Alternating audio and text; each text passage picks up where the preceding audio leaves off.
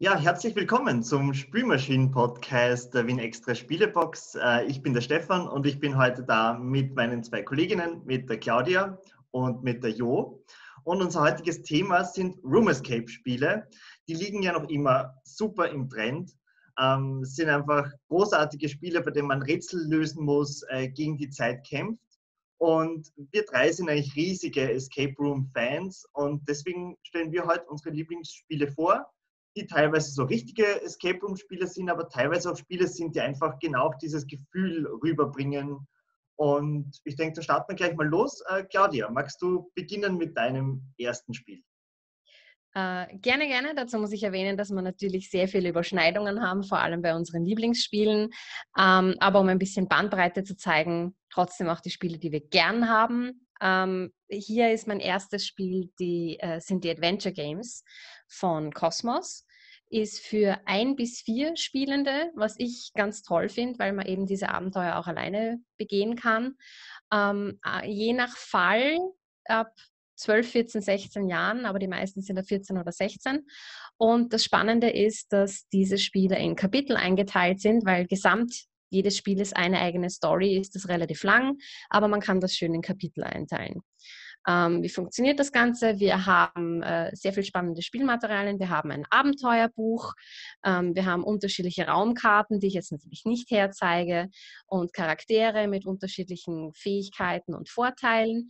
Und äh, Geschichte für Geschichte oder, oder ja, Plot für Plotstückchen äh, arbeiten wir uns vor und versuchen irgendeine irgendein Geheimnis zu lüften, irgendjemanden zu retten, irgendwas herauszufinden. Und wie gesagt, das ist in drei Kapitel eingeteilt. Das heißt, eine Spielesession eignet sich super für ungefähr 60 bis 90 Minuten und dann kann man das Spiel theoretisch auf die Seite legen und zu einem nächsten Treffen zusammenkommen.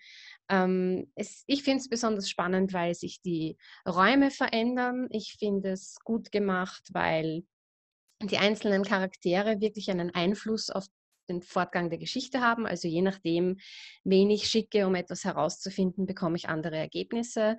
Ähm, es ist jetzt nicht das komplexeste Spiel, aber ich finde es, wie du schon sagst, eines dieser Spiele, das vom Feeling für mich gewinnt. Also ich, ich fühle mich da sehr hineingezogen, weil das Geschichtenbüchlein echt nett geschrieben ist und ja, bin immer voll dabei. Ich finde, es ist auch ein, ein super Einsteigerspiel. Also ja. gerade wenn man, wenn man neu sich mit dem Thema befasst, äh, ist das eigentlich super. Und was ich auch cool finde, mich erinnert so ein bisschen an so alte Point-and-Click-Adventures, wo man dort sucht, da sucht und dann aber noch dieses, dieses tolle haptische Geschichtenbuch hat, wo man dann die Geschichten nachblättern kann.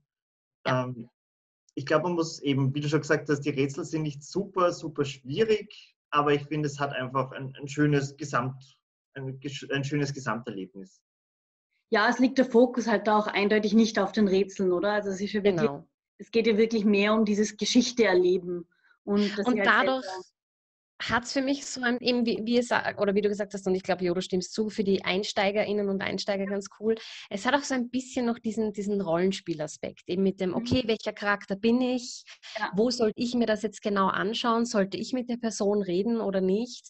Und das finde ich spannend, weil es nicht nur in diese Escape-Spiele einführt, sondern halt für mehrere äh, Aspekte relevant ist für neue Einsteigerinnen. Ja.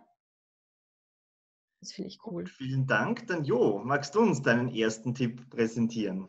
Ja, ich möchte als erstes die Unlock-Spiele, also die Serie ähm, Unlock vorstellen. Die ähm, sind für mich so, es ist so die Serie, die einfach am besten dieses Room Escape Feeling rüberbringt für mich. Also die, äh, dieses Feeling vom tatsächlich in einem Raum sein am besten an den Spieltisch holt. Bei Unlock, es gibt mittlerweile äh, sieben verschiedene Sets mit jeweils drei Fällen, das heißt insgesamt 21 verschiedene Fälle.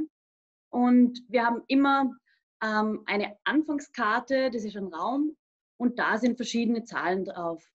Diese Zahlen haben wir auch wieder als Karten die man dann rausnehmen können und das sind dann Gegenstände. Also ich ziehe dann zum Beispiel die 21, das ist ein Kasten, den kann ich dann aufmachen. Oder ich habe dann einen bestimmten Gegenstand gefunden und diese Gegenstände können wir dann wiederum auch miteinander kombinieren und müssen halt so schauen, dass wir unsere Rätsel lösen.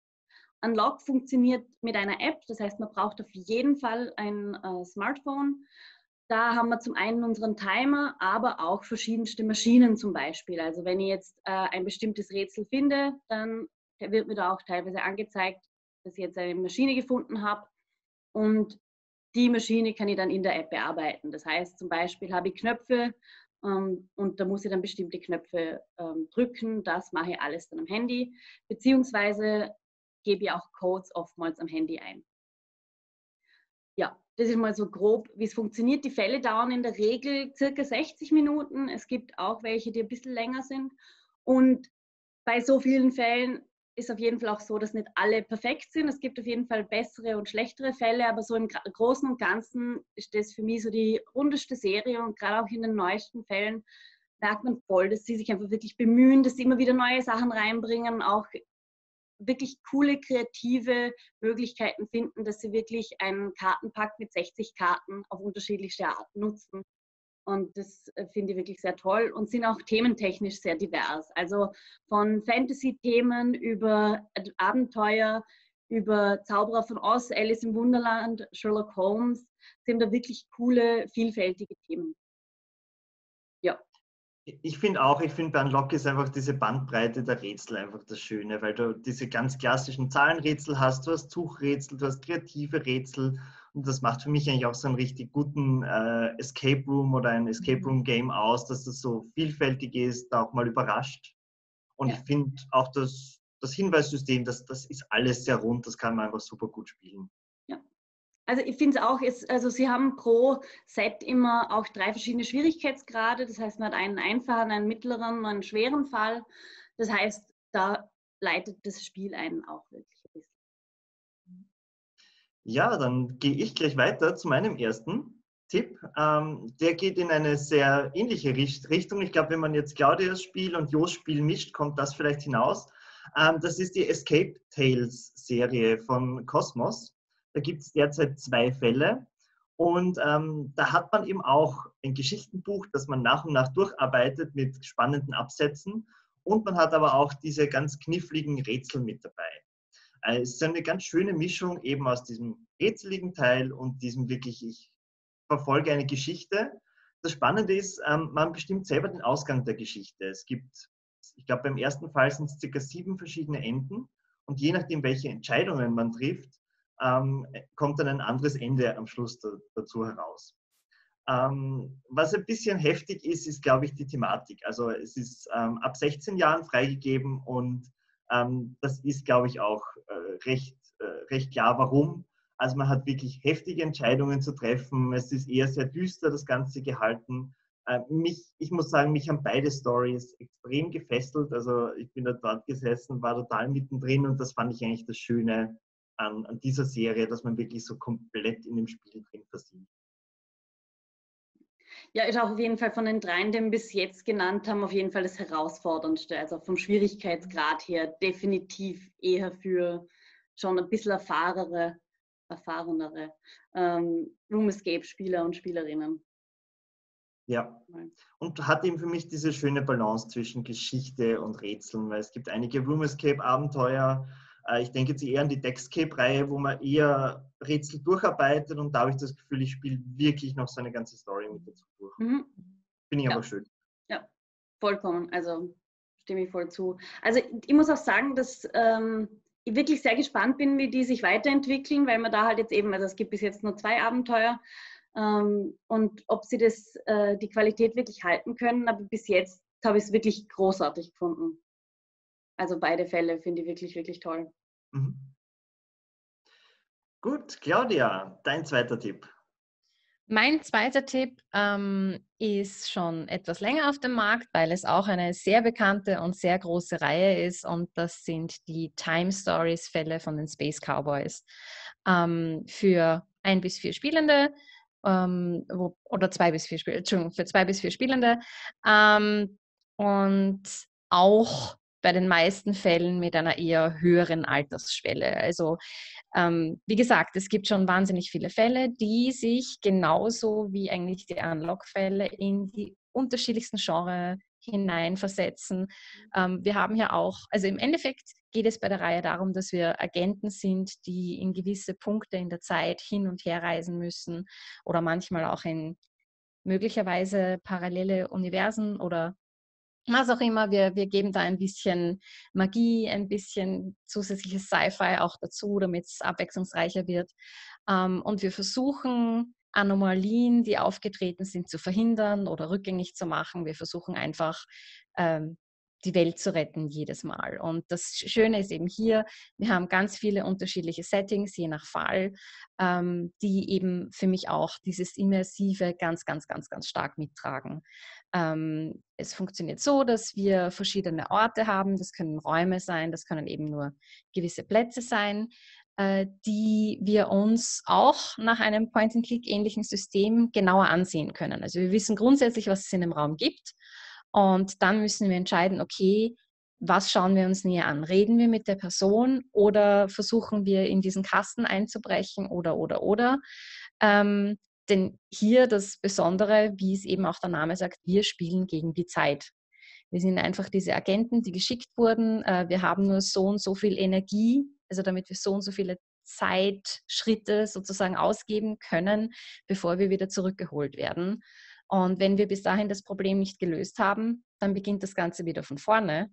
Mit dem Vorteil, dass wir das Vorwissen von unserer ersten, zweiten, wievielten auch immer Runde, dass wir das Vorwissen schon haben und uns beim nächsten Mal, wo wir zurückgeschickt werden, hoffentlich ein bisschen schneller bewegen können und die Rätsel besser lösen können. Ähm, ja, wie schon gesagt, ich finde, das lebt sehr stark von, von der vom immersiven Erlebnis. Wir haben auch Rollen, die wir einnehmen, ganz eindeutig, die wir teilweise auch mitten im Spiel dann wechseln müssen, was Vorteile, Nachteile und so weiter bringt. Das müssen wir dann immer abschätzen können. Ähm, auch hier muss ich sagen, natürlich bei so einer langen Reihe, es gibt bessere Fälle, es gibt schwächere Fälle, aber als Gesamtreihe finde ich es sehr, sehr, sehr solide und auch echt fein. Also ich, also ich glaube, ja. Ich schätze, du wirst wahrscheinlich gerade dasselbe sagen wollen. Wie, wir wollten genau dasselbe sagen. Ja. Grad, ja. Also die, äh, unsere erste Time Stories Runde, das habe ich eben mit Stefan gemeinsam gespielt und das war einfach wirklich, also eines meiner besten Spielerlebnisse. Wir waren einfach so begeistert und so einfach, einfach so fasziniert von diesem Prinzip, von der Geschichte, ähm, eben genau von dem Immersiven, weil, weil du einfach die Geschichte so, so stark mit, äh, miterlebst und ja, wie du sagst, es sind die Fälle auf jeden Fall in äh, also wechselnden ähm, Qualität, äh, aber einfach allein vom Erleben her ist Time Stories wirklich großartig. Ja. Kann, ich, kann ich nur unterschreiben, auch unser erstes Spielerlebnis war einfach grandios. Ähm, seither muss ich sagen, es ist kein Fall mehr dran, dran rangekommen für mich, ja. Leider. Und da finde ich, das finde ich immer noch ein bisschen schade, weil ich das Gefühl habe, da, da könnte man noch mehr draus machen. Ähm, ich finde jetzt die neue Reihe, die ähm, mit dem Hadal-Projekt jetzt auch gestartet ist und mit Damien, Time Storage Revolution, finde ich auch sehr gelungen, weil sie da mhm. doch auch einige Fehler des, des Grundprinzips, finde ich, ein bisschen ausmerzen. Also dieses ständig wieder zurück und wieder von vorne anfangen und noch einmal das Ganze durcharbeiten, ähm, das haben sie jetzt beschleunigt und das finde ich ist, ist jetzt auch viel, viel besser gelöst. Mhm. Was mich noch an der Reihe fasziniert, ist eben, wie, wie uns das alle beschäftigt hat und wie sehr es die Spiele-Community auch aktiviert ja. hat eigene Fanfälle zu konzipieren, herauszubringen. Natürlich die auch, mal besser, mal schlechter sind. Aber grundsätzlich die Idee, das hat mich so ein bisschen an das äh, digitale Spiele und, und an das Modding ja. erinnert. Einfach die Community ist so dabei, dass sie selber mit eingreifen und, und eigene Geschichten anderen Spielenden zur Verfügung stellen möchte. Und das finde ich grandios und, ja. und, macht das Ganze auch sehr sympathisch. Ja, und, und man muss auch sagen. Das Projekt ist ja ein Fanfall. Ja. Also ja. das ist ja auch dann wirklich in einer richtigen Box mit Illustrationen und so dann herausgekommen. Ja, ja. ja und, und es gibt einfach auch wirklich also Fanfälle, die wir zumindest lieber gespielt haben oder besser gefunden haben als so manche echten Fälle. Also es sind wirklich, wirklich qualitativ hochwertig. Mhm. Ja, Jo, dein zweiter Tipp. Wandern ja, mein weiter. zweiter Tipp, äh, ähnlich wie, wie bei der Claudia, kein äh, klassisches äh, Room Escape ähm, Abenteuer mehr. Ähm, es ist die Serie, also Detective, ähm, auch mittlerweile eine Serie mit mehreren Fällen und möchte uns, also die Spielenden, wirklich zu Detektiven machen. Also wir werden in verschiedenste Fälle äh, reingestürzt. Jeder Fall besteht auch immer aus mehreren Teilen. Die einzelnen Teile sind schon mal relativ lang. Also da spielt man einem Teil schon circa vier Stunden. Beim ersten, also bei der ersten Box, sind es insgesamt, äh, sind es insgesamt dann fünf verschiedene Teile. Das heißt, es sind dann schon mal 20 Stunden. Da muss man sich auf jeden Fall die Zeit dafür nehmen, aber es ist zu 100 Prozent wert. Also wir kriegen am Anfang einen Fall und mögliche äh, Hinweise bzw. mögliche Orte, die wir besuchen können und entscheiden dann wirklich selber als Spielenden, welchen äh, Hinweisen wir jetzt folgen möchten. Möchten wir jetzt zuerst mal den Tatort anschauen oder möchten wir uns zuerst mal, ähm, wenn es eine Leiche gibt, eine Leiche äh, zum Beispiel anschauen oder möchten wir irgendjemanden befragen, der mit, äh, der mit dem Fall zu tun hat und so kriegen wir immer weitere Hinweise. Und was noch einmal zusätzlich äh, dazu kommt, wir haben auch eine Online-Datenbank. Das heißt, wir arbeiten wirklich auch mit dem Computer, können da Beweismittel eingeben, können DNA-Spuren, die wir finden, eingeben, können ähm, zum Beispiel Fingerabdrücke eingeben und finden so immer mehr über diesen Fall heraus. Und das ist einfach auch gerade in dem Immersiven, mhm. ähm, du fühlst dich einfach wirklich als Detektiv, Detektivin ähm, triffst eben Entscheidungen, wie du diesen Fall möglichst gut löst und hast eben auch dieses Zeitelement mit dabei. Ähm, das heißt, wir haben einfach nur eine bestimmte Anzahl an Arbeitsstunden pro Tag und jede Spur, die wir folgen, kostet uns halt eine bestimmte Anzahl an, an Stunden und so müssen wir halt schauen, dass wir möglichst effizient dran sind. Ich muss vor allem sagen, dass besonders der erste Fall einfach thematisch auch wirklich, wirklich sehr faszinierend war und einfach von der Geschichte her extrem gut geschrieben war. Also es ist auch, man hat wirklich auch sehr viel Story mit dabei, bei diesen Hinweisen zum Beispiel. Hat man eben, ist also einfach eine sehr immersive Geschichte, du lebst halt einfach wirklich voll diesen Fall mit. Und das fand ich auch, also das ist, glaube ich, neben Time Stories eben der erste Fall wirklich auch eines meiner aufregendsten Spielerlebnisse. Mhm geht mir da auch sehr ähnlich. Ich finde, dass die, die Story äh, bei Detective einfach so gut recherchiert ist, die geht über so viele Zeitebenen, ähm, wirklich gut geschrieben. Also ja. ja, also muss man unbedingt spielen. Also ja. Detective ist großartig und es kommen ja jetzt dann neue Boxen raus, auch im Herbst, mit auch kürzeren Fällen, was ich recht ja. spannend finde. Und auch Familien, familienfreundlicher. Genau. Das, also, das wollte ja. ich noch sagen. Also jetzt so gesehen, einsteigerfreundlich ist es noch nicht ja. unbedingt. Also die Mechanik ist schon schlüssig, mhm. aber auch von den Fällen her nicht so einsteigerfreundlich, aber hoffentlich mit diesen kürzeren Fällen dann eine Möglichkeit, da, ja. da ein bisschen reinzukommen. Ja. ja. wobei natürlich die Qualität schon drin liegt, dass du einfach so ein episches Abenteuer hast in diesen fünf Akten über verschiedene Zeitebenen hinweg. Also ich finde, das ist schon die besondere Qualität von Detective, mhm. aber ich kann mir eben auch gerade für, für Einsteiger, Einsteigerinnen dann ähm, diese kürzeren, knappen Fälle gut vorstellen. Und wenn man einfach nicht so viel Zeit hat und am Abend nur mal schnell vielleicht eine Runde spielen möchte, sicher gute Geschichte. Ja. ja, vor allem ist halt Detective einfach auch von der Komplexität ja. ähm, schon sehr, sehr hoch. Also wir hatten dann wirklich ganze Diagramme mit den verschiedensten Charakteren, die in unterschiedlichen Zeitebenen ähm, sind und wie sie irgendwie zu anderen Charakteren stehen. Also da muss man auf jeden Fall auch äh, ein bisschen äh, Liebe zum Detail, beziehungsweise mhm. muss ich einfach da wirklich darauf einlassen wollen. Ansonsten wird es auch relativ schwierig, einfach die Fälle zu lösen, weil da einfach sehr viele Informationen sind, die einfach zusammenhängen und wo man einfach um die Verbindungen zu machen. Ja. Gut, dann würde ich weitergehen zum abschließenden Tipp. Ähm, ist ein Spiel, das gerade ganz neu zu uns in die Spielebox gekommen ist. Ähm, äh, es gibt es derzeit nur auf Englisch. Ich glaube, das wird auch so bleiben aber ist ein wirklich lustiges Room Escape Abenteuer und das ist das äh, Scooby-Doo Escape from the Haunted Mansion. Und ich bin ein recht großer Scooby-Doo-Fan, deswegen habe ich mich da riesig drüber gefreut. Und man kann auch die Originalcharaktere spielen, indem man solche Story-Hefte bekommt. Also ich kann jetzt sagen, ich will jetzt Daphne sein oder ich kann jetzt auch entscheiden, Fred zu spielen. Und das Spiel hat einen recht coolen Mechanismus, in dem man ähm, ich zeige es mal kurz in die Kamera, einfach solche Räume erkundet und dann eine Figur hat und man stellt die dazu und dadurch ergibt sich dann eine Zahl.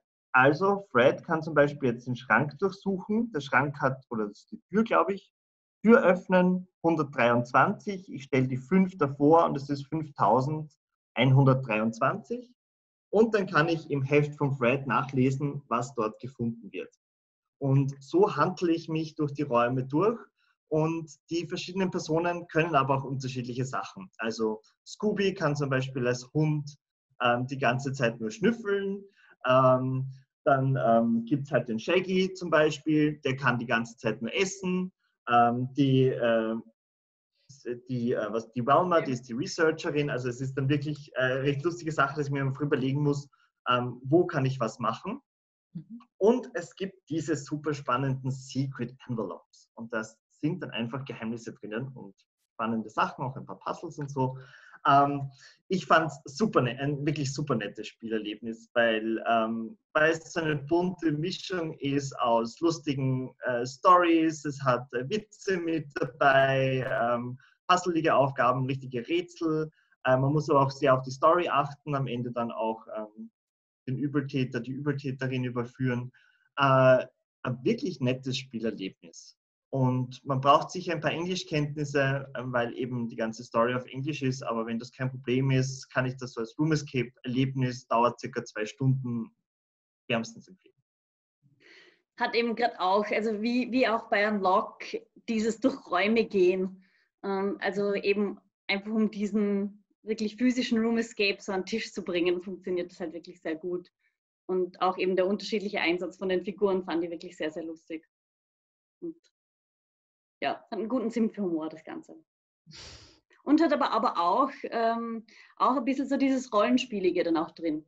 Also je mhm. nachdem, wie man die Charaktere, also ob man die Charaktere verteilt oder einfach grundsätzlich die Hefte rundum gibt, hat man schon wirklich auch die Möglichkeit, sich auch ein bisschen in die Rollen reinzugeben. Vor allem, weil du halt immer dann eine bestimmte Situation aus der Perspektive von diesem Charakter ähm, dann mitkriegst. Also was passiert, wenn ich jetzt mit der Wärmer diesen Schrank öffne oder mhm. ob der Fred reinschaut zum Beispiel.